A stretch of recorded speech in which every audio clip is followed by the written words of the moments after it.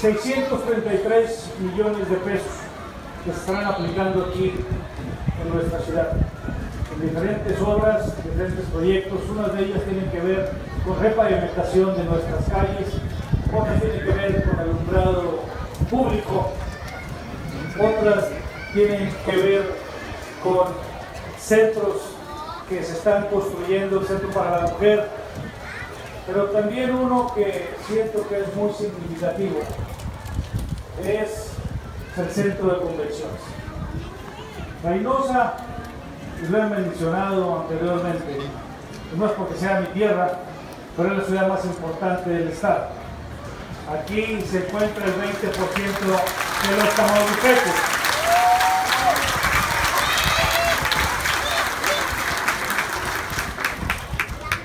Y ya le faltaba, ya le faltaba una obra de esta naturaleza. En este centro de convenciones va a poder llevar a cabo muchos eventos, muchos eventos para atraer inversiones, eventos para la recreación de los reinocenses, eventos que pongan a Reynosa a otro nivel.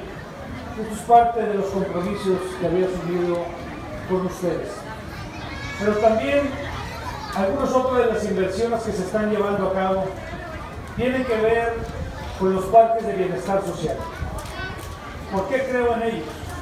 Porque son áreas de esparcimiento y de recreación para nuestros hijos, para nuestras familias. Ahí les voy a encargar y les voy a pedir a ustedes que los cuidemos y que no permitamos por ningún motivo y bajo ninguna circunstancia que nos quieran arrebatar lo que es nuestro. Ya no vamos a permitir que gente ajena a esas colonias, gente que nomás anda haciendo daños, quiera posesionarse de ellos.